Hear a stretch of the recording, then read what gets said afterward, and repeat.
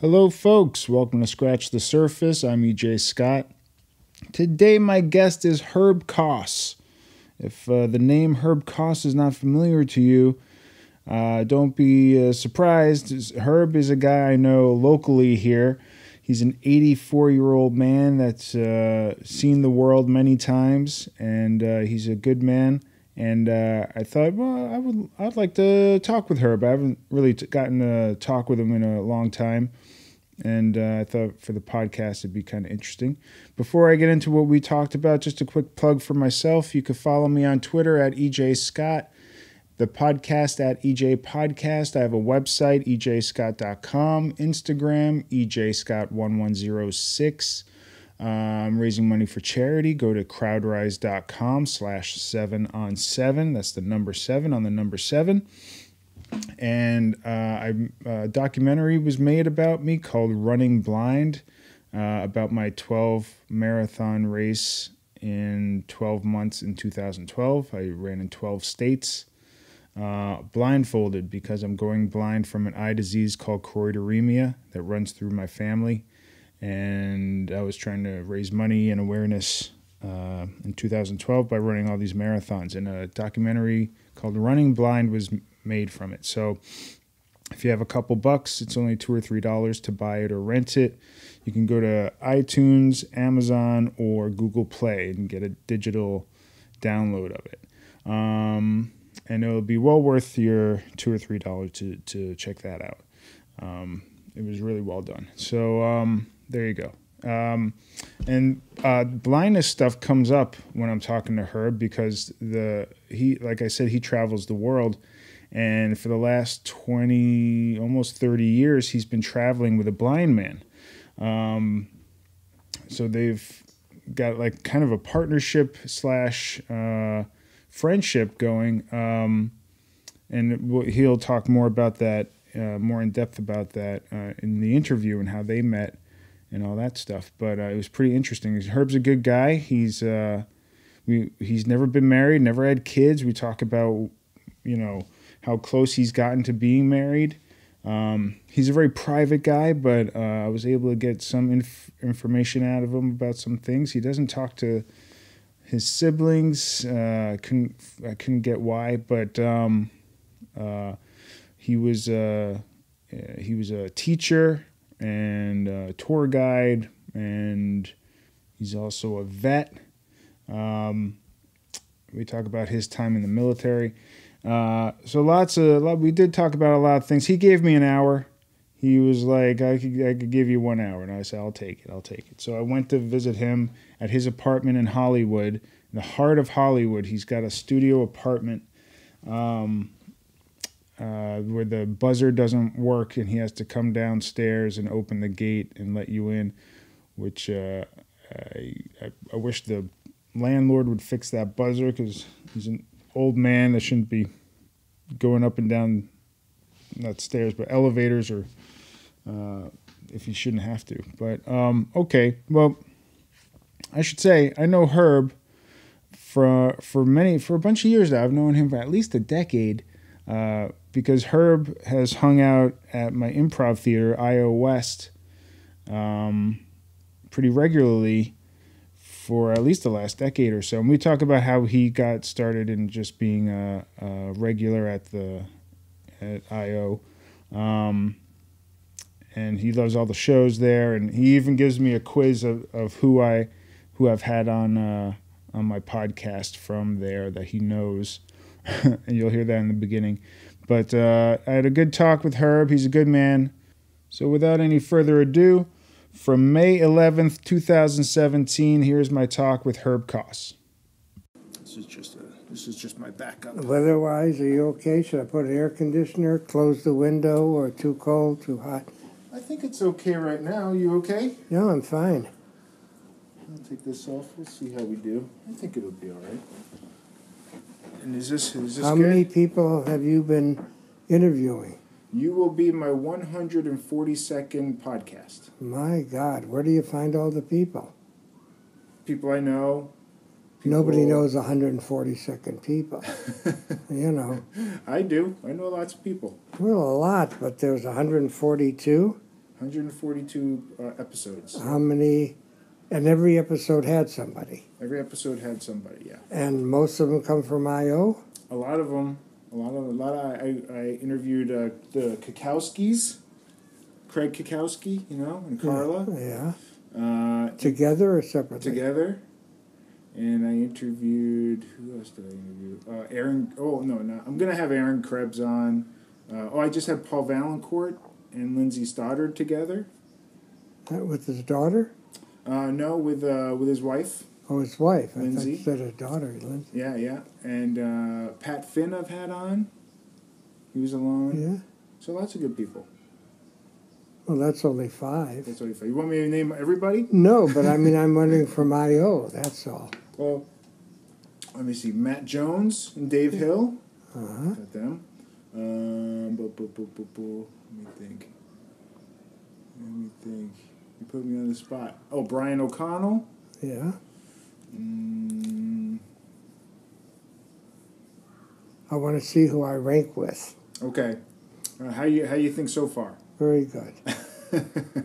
Not bad, right? I'm asking Yeah. some good folks, and I got like a lot of actors too, like a lot of people my girlfriend works with. My Oh. girlfriend's been on a bunch. Oh, yeah. Uh-huh. Um, so people from her TV shows I've had on, hmm and some people from like Saturday Night Live I've had on, How do you meet people from Saturday Night Live? one guy's an improviser, Paul Brittain.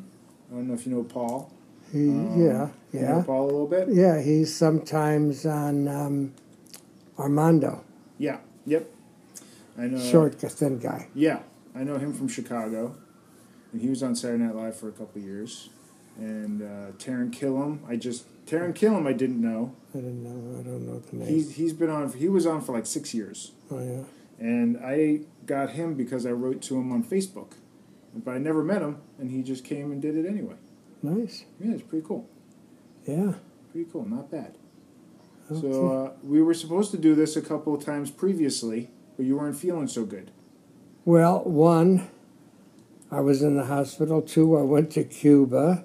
Yep. And then when I got out of the hospital, a couple of weeks, I wasn't feeling good. So, but I'll tell you the truth, I hadn't heard from you in a long time, and I said, "Thank God, I think he forgot me.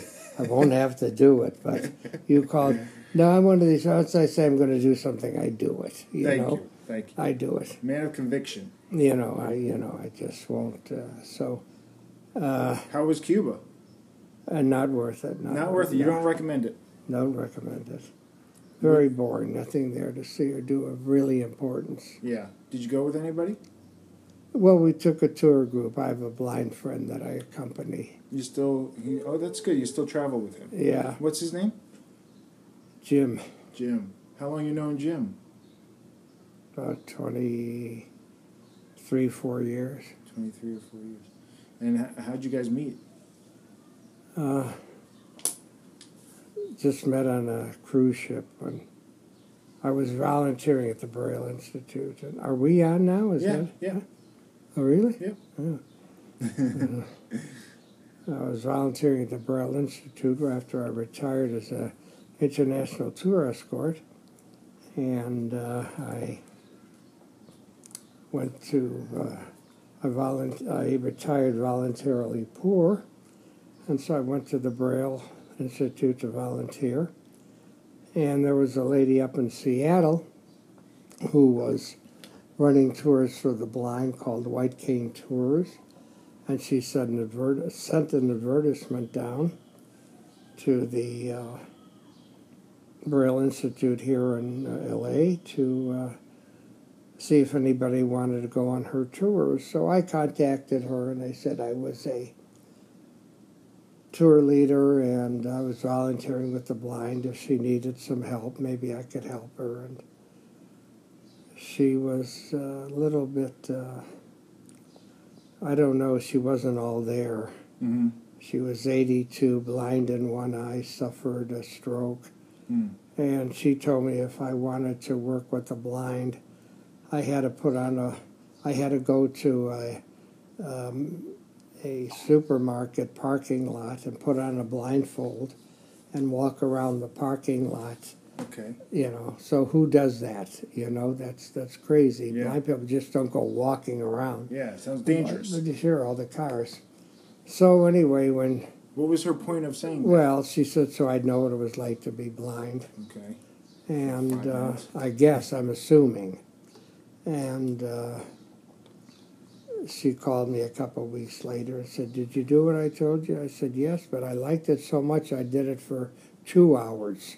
Yeah. you know, being sarcastic. And she's, oh, that's wonderful. Couldn't believe it. So, uh, Did you do it? Did you actually do it? no, come on, come on. You know, so But she bought it. she bought it and uh, she asked me to come with on a cruise to Hawaii.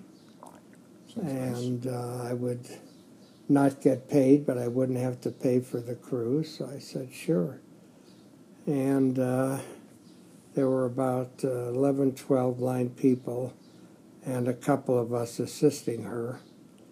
And uh, she was already out of it, like I said, 82, suffered a stroke, blind in one eye, and uh, she didn't want them to do anything but stay on the ship and Hawaii there are a lot of optional tours and she wouldn't take them. And so I took them and so they asked me to take over and I said no. And then she took them to Greece fell in the shower had to be medically evacuated. Oh, and the whole group. So a couple of them contacted me and I said okay. So for many years I took them out on uh, cruises to a few tours, but mainly cruises.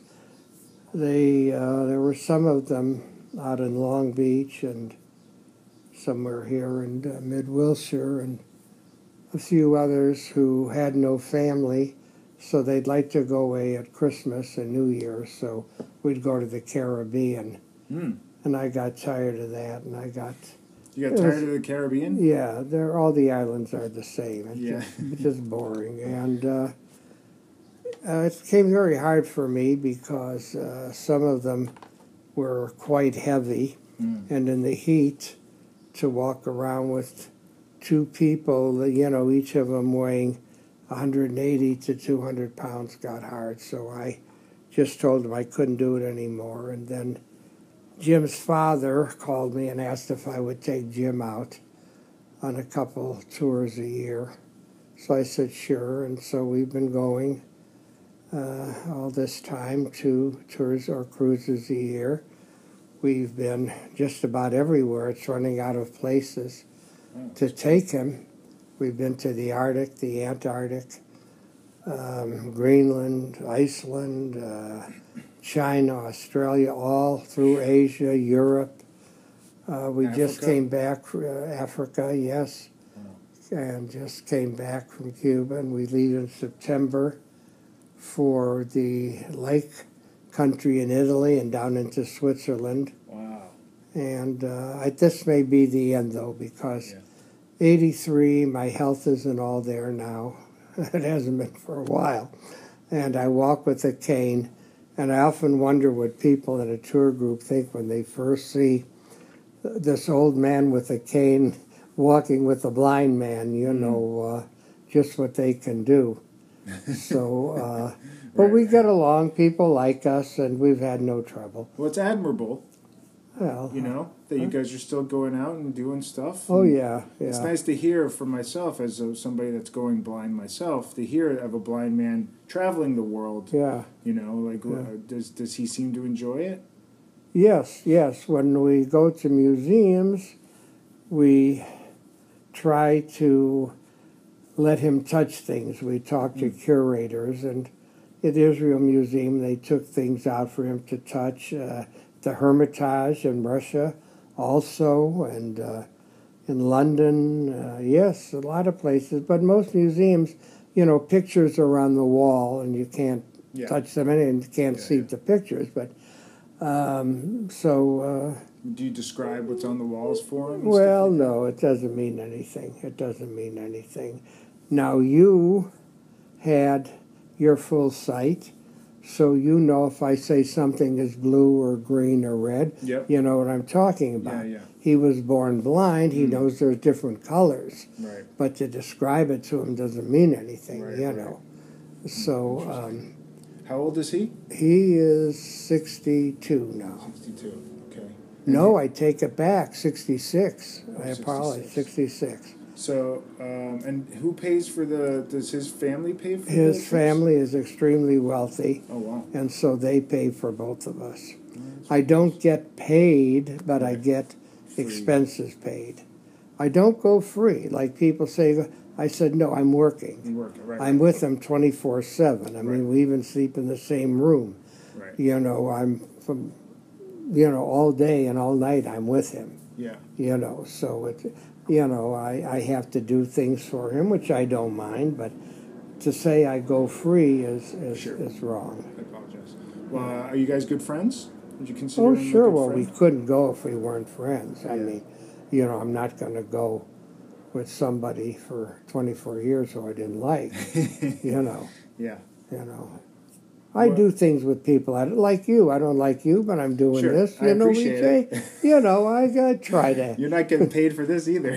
What? What? Oh my God! You misled me. Well, this is the end. I offered Goodbye. a sandwich. I offered Goodbye. you a sandwich. well, who, where have you liked traveling to the most?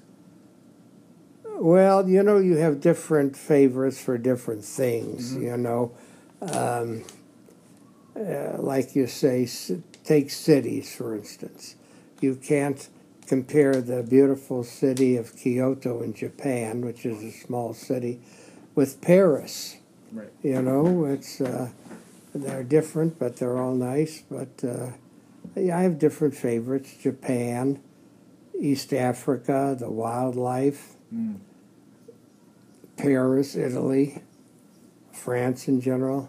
But I would say my favorite country of all is the Indonesian islands: Really? Wow. Bali, Sumatra, Sulawesi. They're beautiful Yeah. they're different culture they're the architecture is so different the people are nice the food rice paddies everywhere and it's just lovely I, I just like that the most Would you like to live there? Think you'd no there? no no no I, I couldn't live in asia it's too hot and humid for me Yeah. i'm very sensitive to the heat i just i don't burn you know i'm Yeah. dark complected to begin with but i just don't feel comfortable in heat and humidity You're a delicate flower. That's me, a delicate flower. you know, I have to laugh. I come from Chicago and I watch the news here this summer and they say, oh, it's hot with high humidity. And I laugh. We have no humidity here Yeah. In LA. You want humidity, go to Chicago, go to Washington, New York, Yeah. go to Asia, India, you could pass out. You Yeah. know, so they talk about humidity here. It's, it's It's ridiculous. Uh, you, were you born in Chicago? Born and raised in Chicago. What part? Well, the part of uh, South Shore, it's on the south side, Mhm. and it's just south of the neighborhood Hyde Park, where uh, Obamas live. Mm. Uh, I guess they still have their home there. In fact, I went to Hyde Park High School, which is in that neighborhood, and I lived a few blocks from Jackson Park, and I read that's the park where Obama's going to put up his presidential library. Wow. So Wow. Wow. Did, uh, did you like growing up in Chicago? Loved it. It's a beautiful city. Yeah, it's a great city. Um, people, tourists, American, European, uh, go there. They come, oh my God, what a beautiful city! Had no idea. It's Yeah. uh, parks everywhere, green, and um, you know we have the outer drive, which is well, Chicago's on Lake Michigan, so we have the drive that goes all the way from the north side of the city to the south side of the city, all along the lake. There's a lake and a park, and the roadway, and then high rises. It's just beautiful, Yeah. and it has everything you want. It has sports teams. It has culture. You know, the Chicago Symphony, the opera, and so it, it's a wonderful city. I don't think anybody would leave if it wasn't for the weather, and then all the young people here who come from all over the country for uh, um, uh, the arts, you know, to get into movies Acting and and stuff. Yeah. yeah, acting, directing, writing, you know. Yep. So Uh, when who you you were born in like the 30s? yes, right? 34, 34. What uh, month and day? Can I ask? March 5. March 5th. So you just had a birthday pretty recently. Yeah, yeah. Two, two months ago. There's a few of us there from uh, IO. Uh, Dave Park has the March 5th. Uh, Brendan Schoenbrender has March 5th. Uh, my friend Tim Jennings is Yeah. March 4th, and Dave Stratton is March 4th. Uh, so there's quite a few of us, four or five March. It's uh, It's good company. Good, good company. yeah. of course, I'm the oldest. I have seniority. You sure? You Yeah, sure I have the seniority. The problem is they don't show their elders enough respect. That's That's that's the problem. They don't show anybody respect. No. Nobody. Any age. Uh-huh. uh, did you have siblings growing up?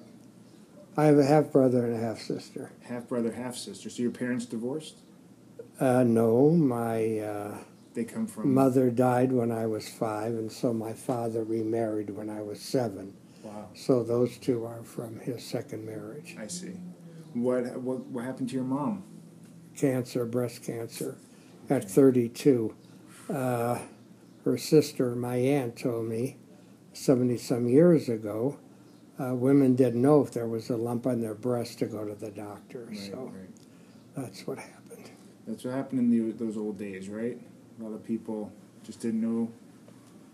Yeah. Yeah. Well, you know, and then there's a lot of people at IO I fought with. I'm tired already, but continue smoking. I just Mm. tell them that, you know, you're just smoking yourself to death. They don't want to listen. Well, Yeah, they're addicted. you know, But I was addicted too to cigarettes for a long time.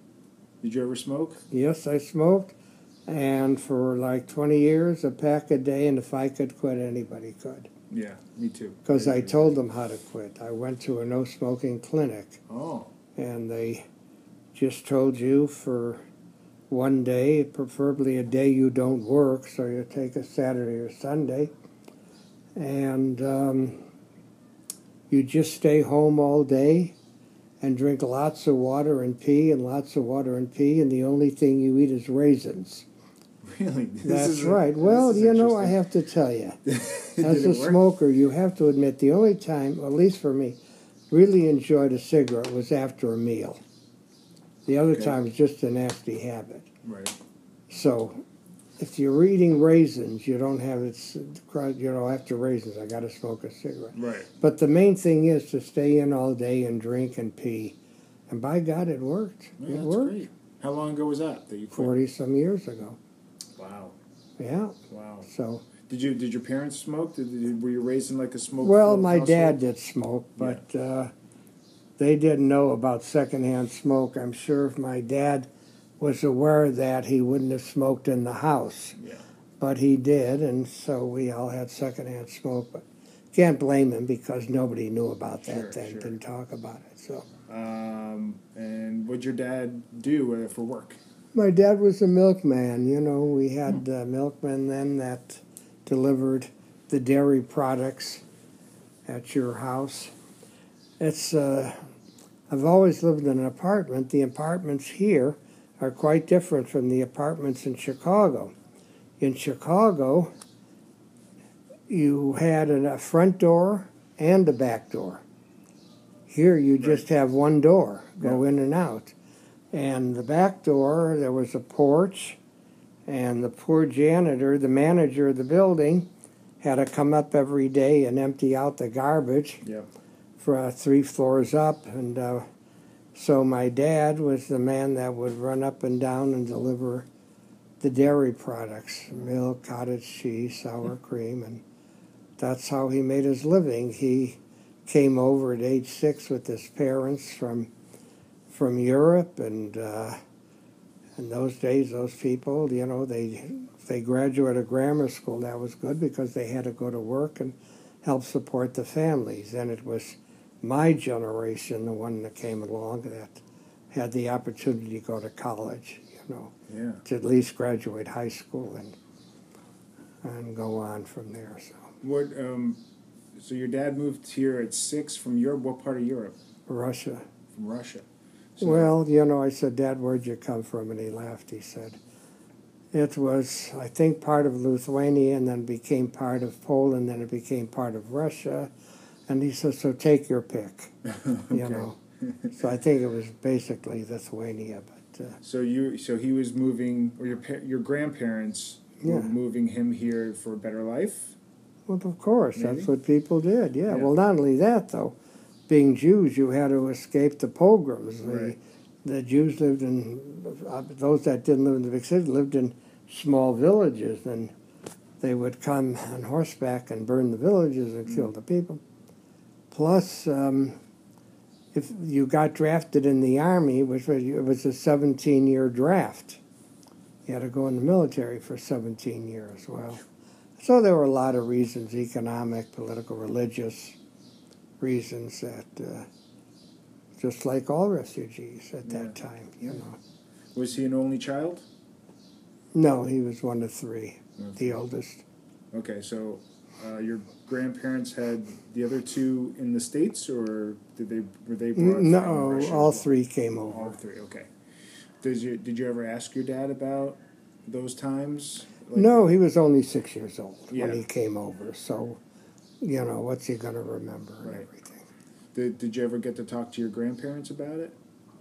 No, No. no. Did uh, uh okay, so you have you were one of three. You have two half siblings. Do you get? Do you still keep in contact with them? No. No.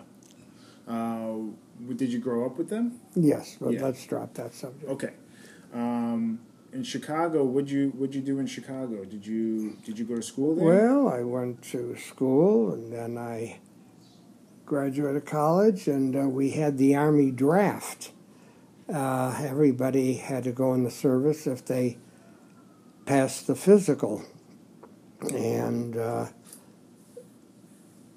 you went in the Army for two years. If you didn't want to go in the Army, you could go to the Navy for three years or the Air Force for four years.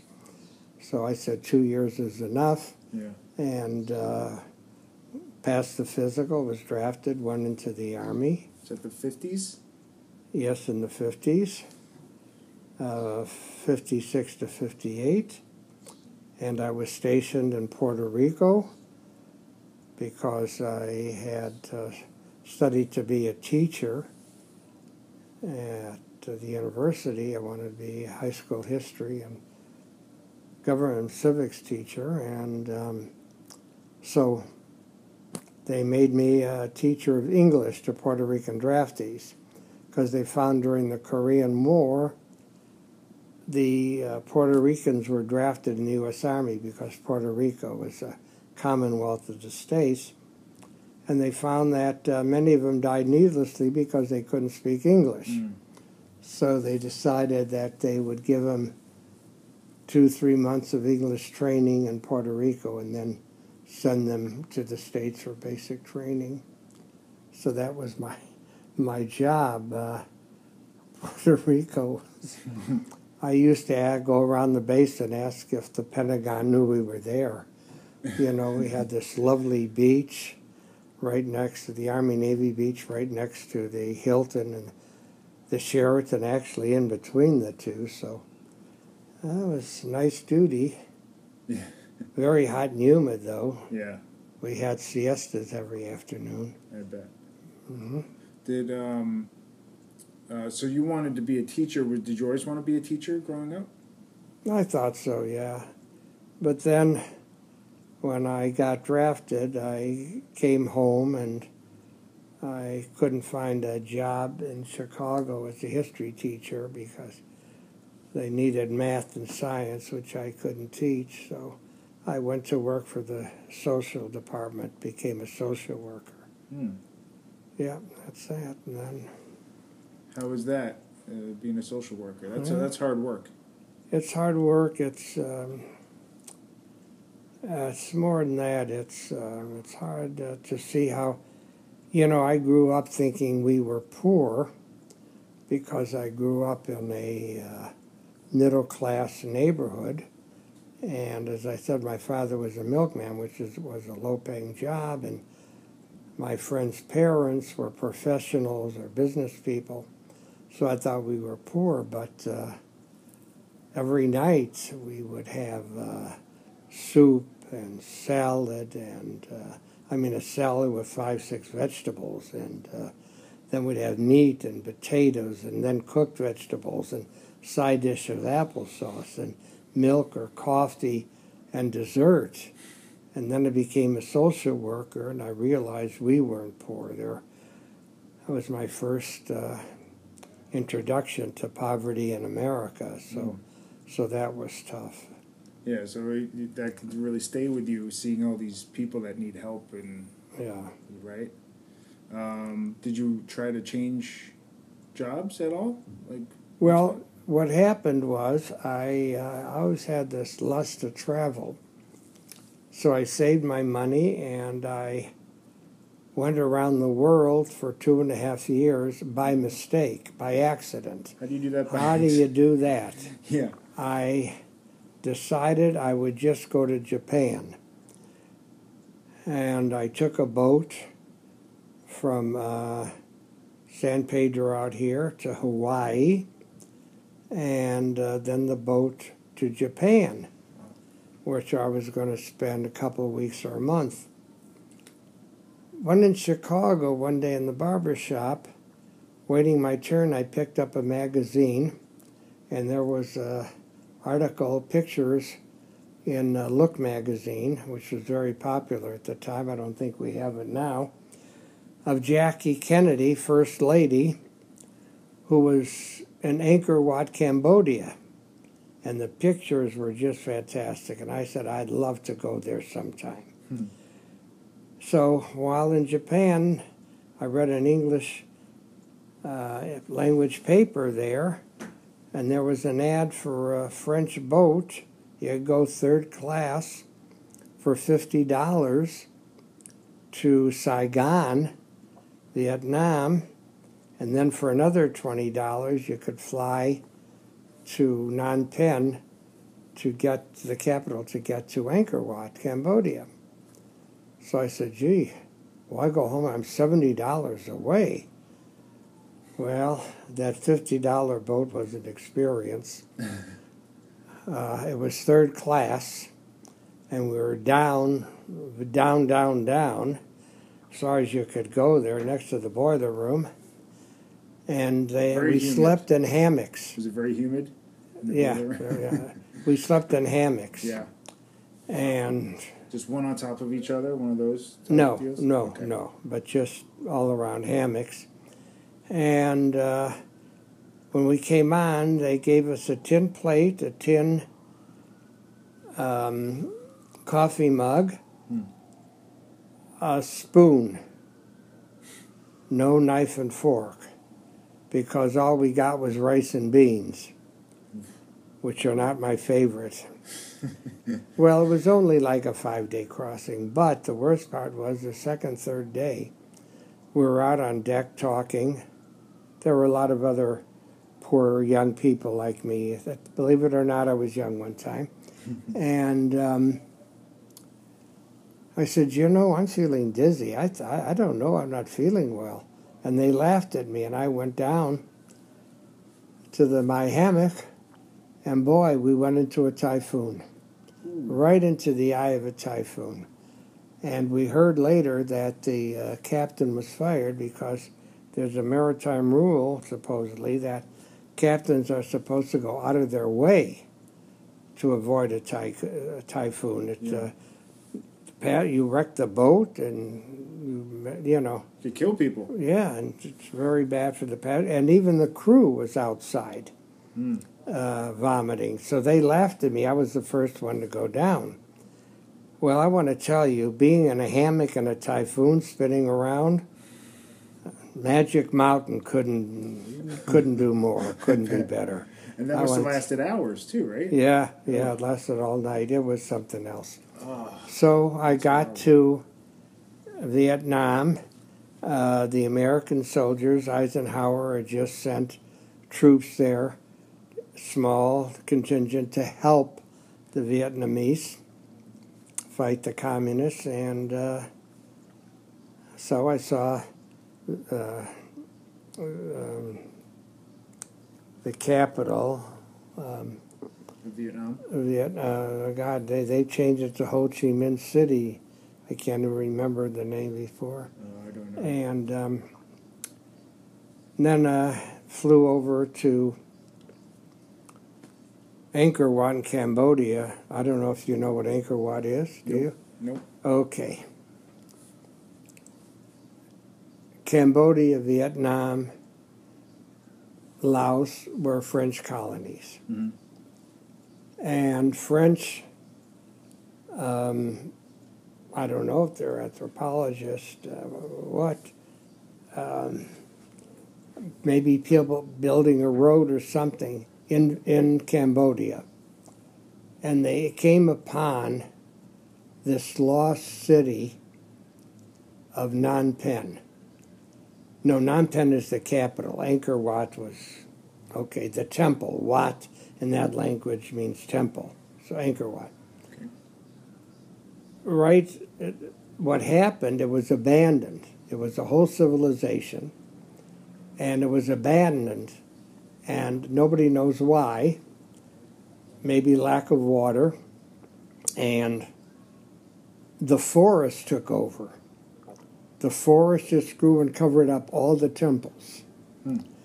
It was one huge temple and other temple, and the architecture was just beautiful.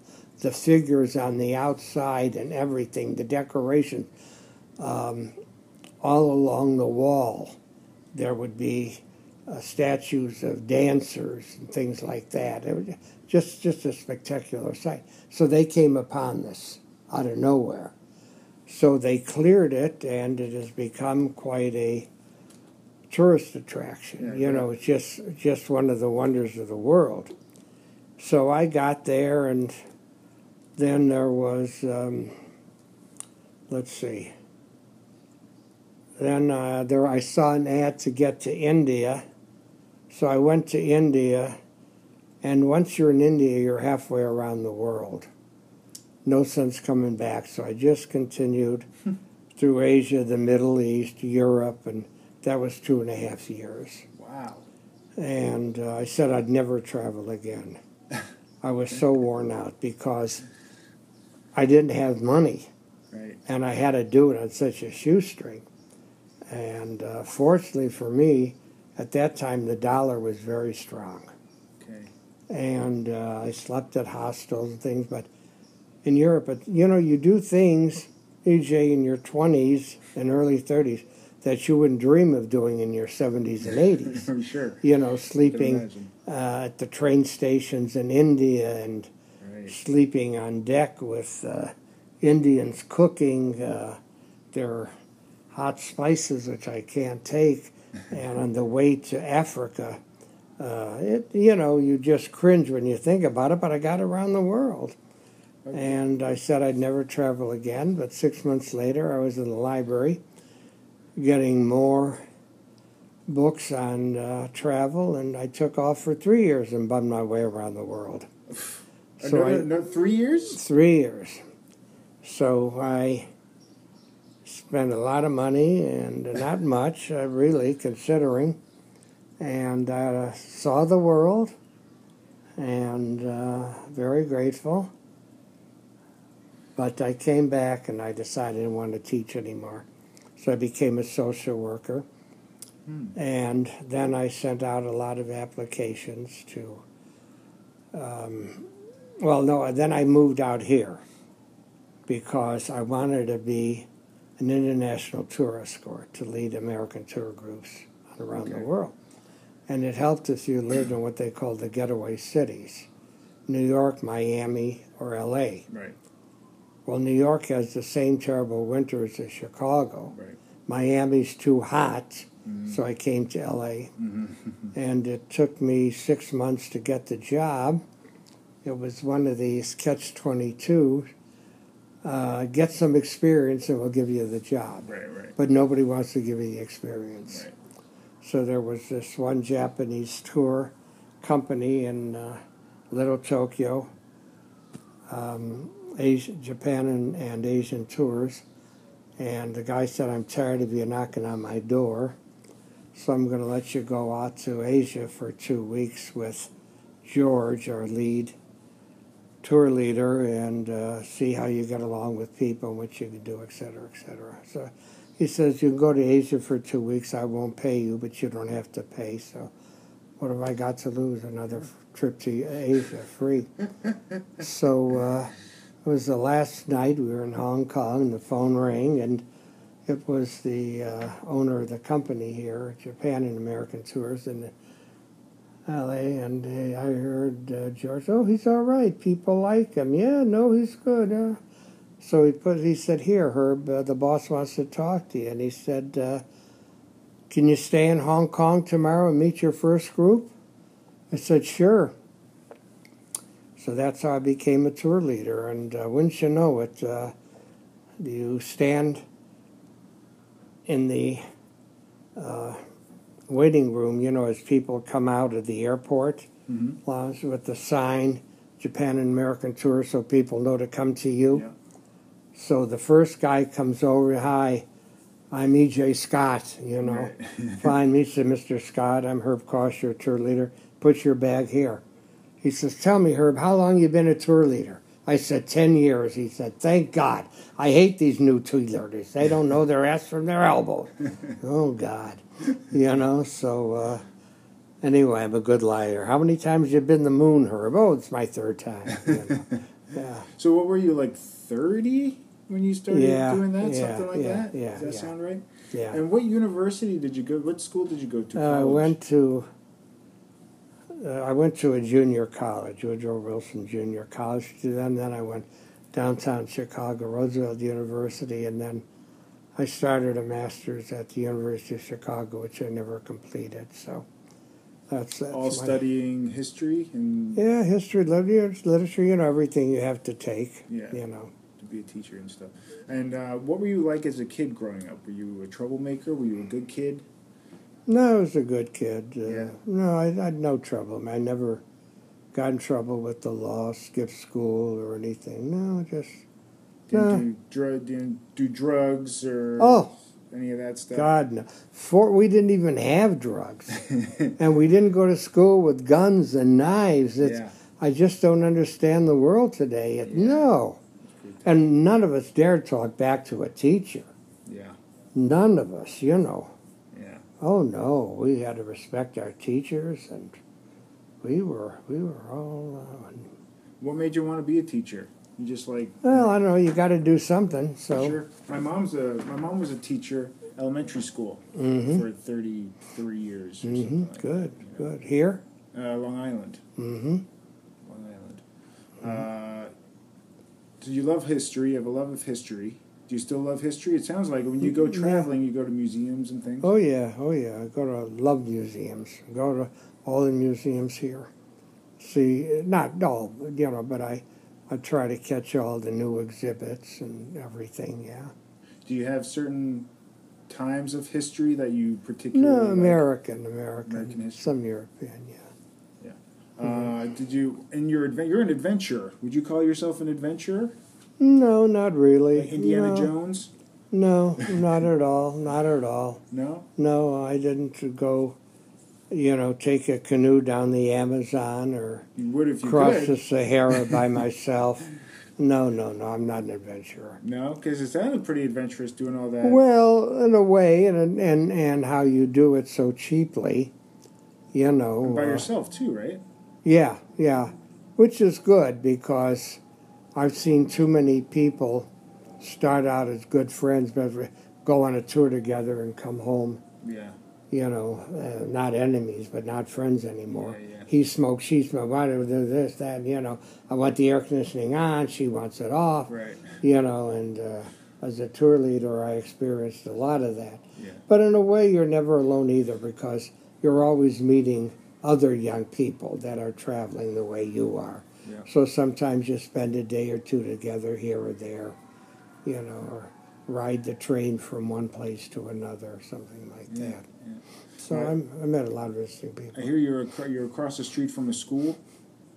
Uh, What's and going actually, it's just right around the corner. Around the yeah, corner. yeah, yeah. That's fun to listen to.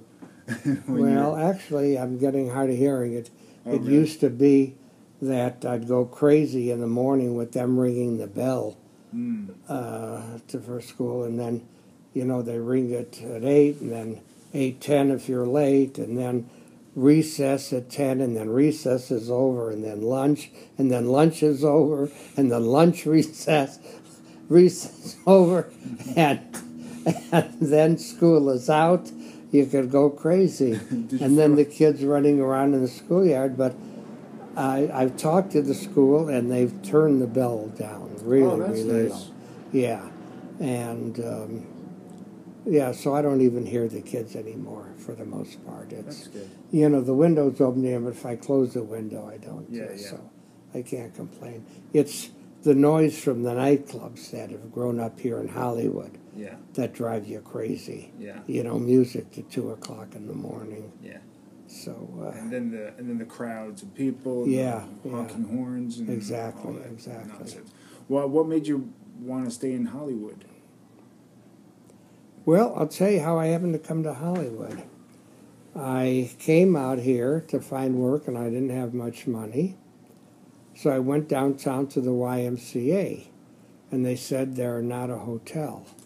The YMCA hotel's in Hollywood. So I came out here to stay at the Y. It was $5 a night, When was this? 40 some years, 40 years ago. Forty years ago. And um, Seventies.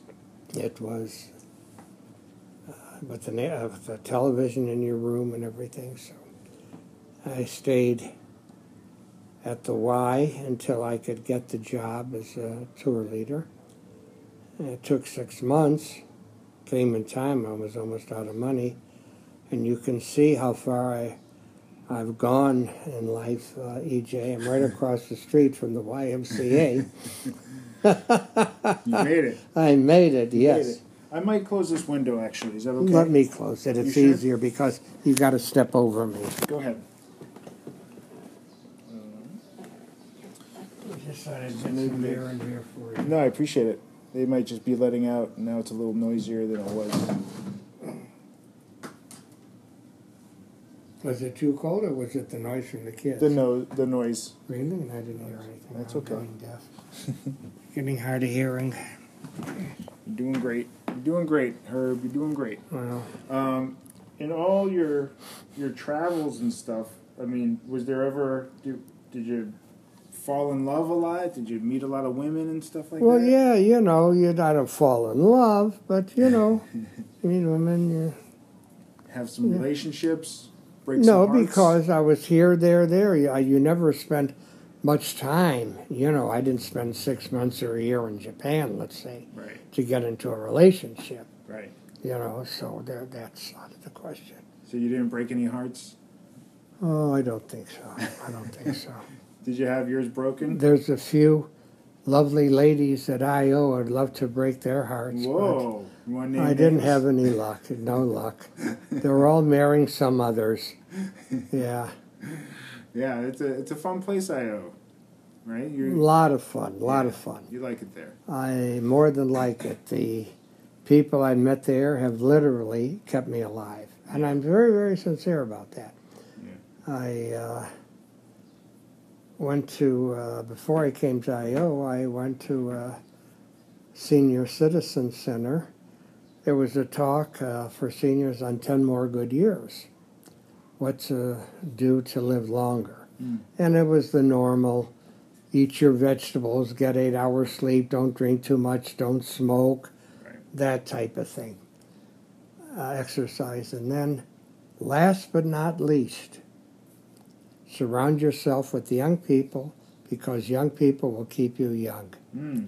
So I said, gee, where am I going to meet young people? Well, I'm right around the corner from an elementary school. But I don't think that's what they want, fifth and sixth graders. No, no, no. You got the nightclubs. You know, You got the nightclubs. no, so anyway, uh, met Pete Holney at the Hollywood YMCA, and uh, he told me to come to IO, and I did, and um, I've been there, uh, I don't know, 10, 11 years now. I don't know. Yeah, that's about right. And um, the people there have kept me young. Um, 2012, what that's five years ago, I was very, very sick, in and out of the hospital with heart and lung problems for eight months. And people, when I came home, started a food train for me, and people drove me to and from Kaiser when I had appointments, and uh, shop for me, and uh, it was just wonderful, just wonderful. I and I go there now. People, um, some gal came and cleaned my house. I mean, know, she's going to come tomorrow and vacuum for me, and um, uh, I, I, don't know. I got uh, just some of my friends there. It's uh, really amazing. I'm in my 80s.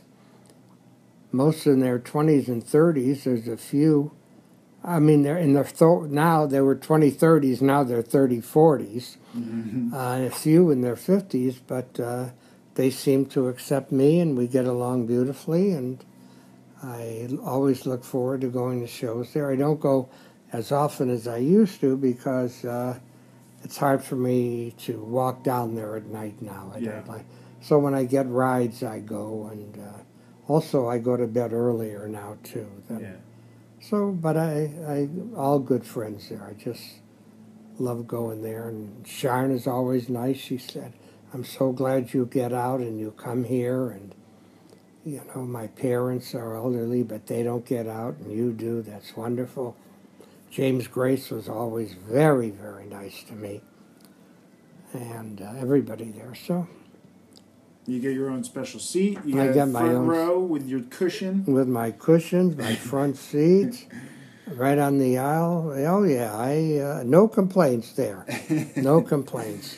Uh, yeah, well, I, that's where we first met. I forget what show I met you at. Maybe it was a Beer Shark show. I don't remember. I know what it was. Oh, you do? I do. I was going in to to see uh, actually, I didn't even know Beer Shark Mice was on. Okay. And I went there to see somebody else from the Y. Okay.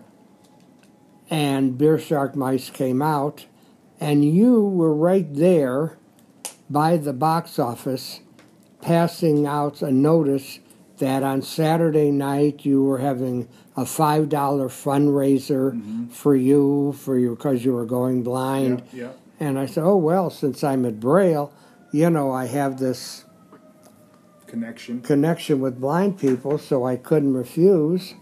so uh, I uh, came to your show, paid the five dollars, and it was so good. I gave another five when I came out, and uh, that's how, that's how we met. Oh wow! Yeah. Do you remember what show it was? Do you remember? Well, like I, well, there was a guy, another friend from the Y that was going to be on that he wanted me to come see him. So I have no idea. The guy isn't at the Y anymore. I'm not even sure I can remember his name, but it doesn't I mean, I meant like in my uh, uh, fundraiser show. Did you do you remember what, what it was? Oh, no, no come no. on. That was, what, 10, 11 years I can't tell you what least. I had for breakfast this morning. Expect me to remember that? well, you remembered how, uh, how we met, so that was pretty good. Yeah, well, that was pretty good. That's it was one of the shining moments of my life, EJ. It just stood Thank out. You, Herb. You Thank know. you. This is this right now is a shining moment of my life. Oh, oh wow! then you got a very boring life like me. Yeah. Well, yeah. you're pretty exciting life. I mean, last year I did a lot of traveling. I traveled all over the world. I traveled on every continent. But but you've done that many times over. No, you went with. Uh, Mostly by myself. Oh, by yourself? Yeah. You traveled the world by yourself? Yeah, pretty much. Be, being per, almost blind? Yeah. That's wonderful. Where all did you go? I went to South Africa. I went to London. I went to Japan, China, Antarctica, uh, Chile. I went to South America a couple times in different places. I went to uh, Toronto, Canada. Um, what am I missing? Am I missing a place? I went to Australia and New Zealand. All in one year? All in one year. Well, then you came back and forth to America and went here. Yeah. Well, that's a lot. That's a lot. Well, it's no, it's just a lot of air travel. It's a lot of air travel. I've I've gotten to the point now where I'm tired of air travel, even though that was my living. And now I go with my friend. But uh, to do all that in one year is, uh, It it hurt. yeah. Well, no, I, I wouldn't feel comfortable. It's just too much. I got sick a lot. What, what kind of sick? I would get colds. One time I got uh, a virus in Rio de Janeiro in the hotel, and I was throwing up, and it was gross for like three days. Didn't you go to the doctor or anything? I had a doctor come to me, Yeah, the and hotel. he helped me out. Yeah, Uh huh. but he said it was just a. It's going to be like a forty-eight hour thing, and it'll go. You know, it'll pass. It'll pass. But I was there. I was running marathons on all these places. You went to run marathons? Yeah. That was your purpose to go to all these places? Yep. Well, did you sightsee? Did you do anything in all these? Sights, I sight saw, and uh, and I ran seven. I did five half marathons and two full marathons altogether for the year. Um, so, but I got to see a lot of stuff. I went to Great Wall of China. You must have gone there. Oh, many times. But uh, I don't want to say, but you, you didn't run with your cane, did you? No, I had guides. How, how what did the guy do? Run by your side and Yeah, kind of. tell you we go right now, we go left. Yeah, something like that. And I'd hold on to them, or we'd hold on to something. Now, where do you get all these guides? Uh, some of them, uh, I just on social media. I would I would say anybody know anybody in Africa that can help me run a, a marathon, uh, and that worked. And uh, yeah, just stuff like that. Or I would contact the marathons and say I'm I'm visually impaired. You, can you help me find a guide? And sometimes they'd help me. That's wonderful. Yeah, That's wonderful. yeah. But now my knees hurt, and I don't know if I'm gonna run again. We'll see. Uh huh. How old are you? Forty one. Really? I had no idea. Thought you were still in your thirties. Yeah, well, that's yeah. Uh, I give you credit, Mo. I couldn't even walk a marathon, yet alone run a marathon. But that oh, so. Did you get to see a lot of things in these uh, countries? Sure. Yeah, it was a lot of fun. Um, What stood out? What was your favorite the to see? animals in South Africa, Mm-hmm. that was pretty incredible. Yeah. I'd love to go back. It was one of the hardest w- places to get to. Yeah, I know. but The, was- air. Yeah. It's like 17 hours from Europe and all a that. ton, a ton of. Yeah, and uh, so you went to Kruger National Park, Yes, I did. Yes, I and you saw a lot of animals. Yes, I did. I stayed in the park, or or just just over. Uh huh. Yeah, it was great. Did you ever do camping and stuff like that? You Oh, must have done. oh yeah, yeah, yeah. Did you ever like climb mountains? No, never climbed. No, that's No, I've been a member of the Sierra Club. Do you know the Sierra Club? I don't. Well, do you know the name John Muir mean anything to you? John Muir. Yeah. Anyway, the founder Scott, Scottish immigrant, came here, Californian, started ki- climbing the mountains here and uh, in California, going to the um, Yosemite, and uh, he, got President Teddy, Ro- Teddy Roosevelt to come out to um, Yellowstone, and the two of them camped there. And then Teddy Roosevelt was so impressed, they started the National Park Service, and Yellowstone became our first national park, and Yosemite the second. So it's an environmental group. And uh, when I first came out here, I joined them, and I've been a member ever since. Uh, I think it was one of the best things I did when I came out here after I became a member of Kaiser, of course. But uh, they go on camping trips here in California, all the national parks in the West here. They have day trips, weekend trips, week trips. And so I went to just about all the national parks on the West Coast with them. Wow. Uh, but I can't climb anymore. I can't even walk hardly. So I just send them my check every year as a member to support them, and that's it. But Good for you. Good well, for you, Herb. I'm jealous of all the places you've gone to and gotten to see. well, It's pretty cool. well, Yeah. It's old hat to you, though, right? You're like, yeah, I did that. No, no, it's a question of, I mean, I took off years, so to see it all. But uh, you, you did more. You uh, actually went to these countries to run, and uh, I don't know how much you saw in every country, but uh, you know, if it was from a tourist point of view, if it was worthwhile, but to run, and, and that's a lot of money you have to spend on airfare Yeah, to get there. Yeah. A lot of money, but it was it was well, it was worth it. It was fun. It was fun to do. So you do um, um, marathons here. You do the one every year in LA. No, I haven't done LA since 2012. Uh-huh. Um, and we'll see if I run again because of my knees and everything. So Uh-huh. we'll see. We'll Yeah. see. Who knows? Getting old there, EJ. You're getting old. I know, Herb. I can't Have to start it. giving you respect. It's like my elder. um, so do you, did you ever have kids? You never had kids No, that you know of. no, Wink, wink. no, no. Uh, Not or did you ever get married? Never. Never. Did you ever want to? Not really. I uh, sometimes you ever guess you should have, but I wanted to travel, and uh, so no. No. And the job I had would have been hard, you know. the traveling job. Yeah, Mhm. all anyway. So I uh, did propose to a girl once in Chicago, and she turned me down. And a girl proposed to me, and I turned her down. And sometimes now that I'm old and lonely, I kind of regret it. Mm. She was a beautiful girl, very sweet, very nice. We worked together. And uh, but anyway, Did life you- goes on.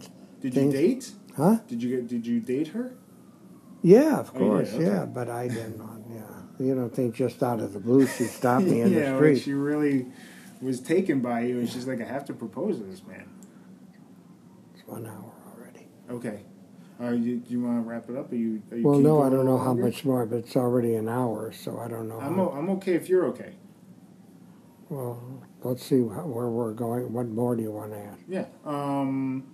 So uh, let's see. So you got the traveling job here in L.A. and then you started going around, right? Yeah, All over. And how long did you do that for?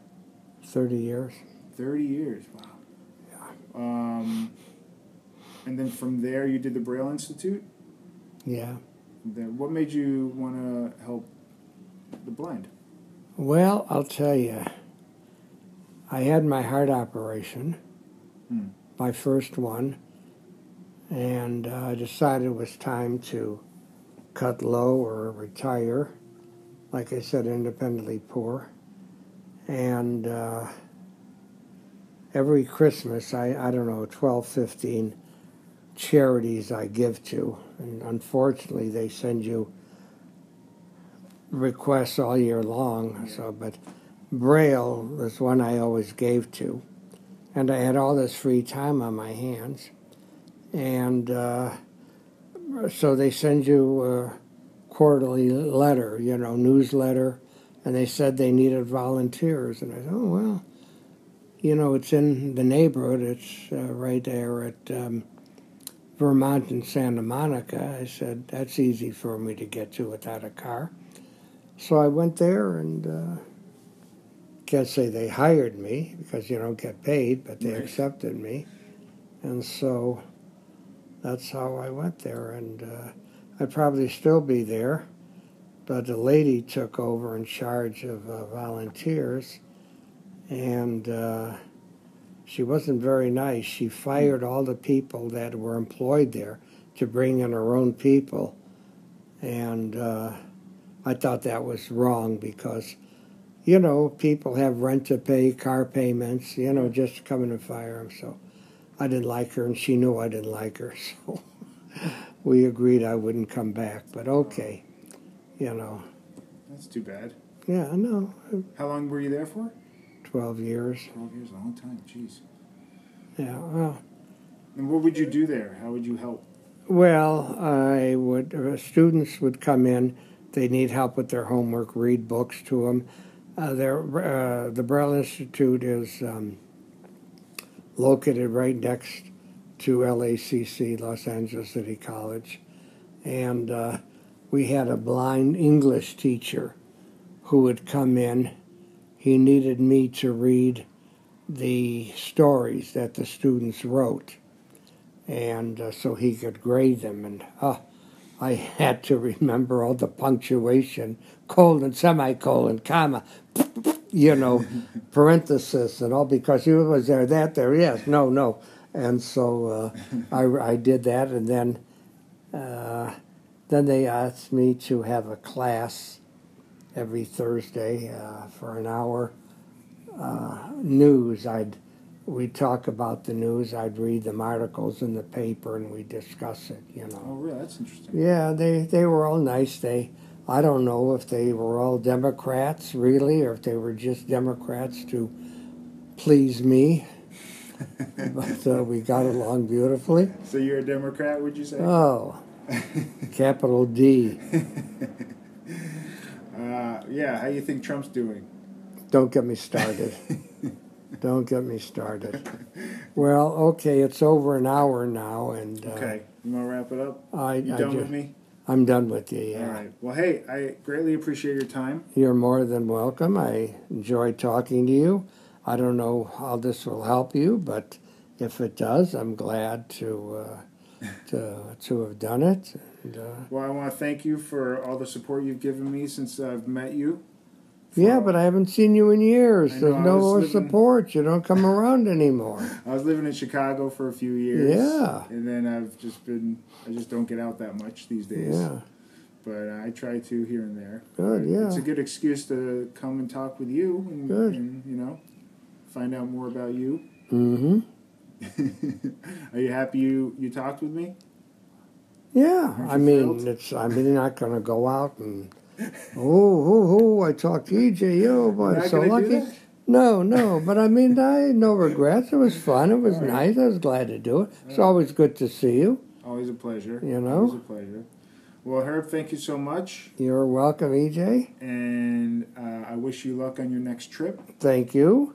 and have a great time. Thank you. And, And I uh, wish you, and I'm trying to think you're Debbie, right? Deborah, yeah. Deborah, yeah. Yep. I wish you and her all the best. Thank you, sir. Looks like you will get married someday, I take it. Maybe, maybe we're at we're at almost ten years together. That's what I'm saying. Uh, you know, I don't know what's your rush. Exactly. You know, EJ, What's the rush? what's your rush? Everyone's in such a rush these You days. You know. she can put up with you for 10 years, she can put up with you for another 20, 30. exactly. Yeah. That's I figure, right? Yeah. It's hard to believe 10 years already, my God. What's your longest relationship? Oh, I don't know. Let's not. All right, you want Are we off here? Let's All get right. off. All right. Thanks, Herb. Okay. And cut. There you go, folks. That was Herb Koss. Uh, I would say thank you, Herb, for talking with me, but he'll never listen to this uh, podcast. But um, but uh, I'm appreciative for his time and, and his uh, uh, talking to me about his life. Um, cool. So one more time for my plugs. Go to Twitter at EJ Scott and at EJ Podcast. My website, ejscott.com. Instagram, EJ Scott1106 the charity stuff crowdrise.com slash 7 on 7 and running blind documentary on itunes amazon or google play for only two or three bucks um, i think that's about it uh, and, well um, i've raised money for the choroideremia research foundation so if you want to check out more about what my eye disease um, you could go to curechm.org and I guess that's about it. We will see you next time. You could subscribe on iTunes. Don't miss any of my podcasts. You can also check it out on iHeartRadio and uh, whatever's easiest for you. All right. Thanks so much. See you next time.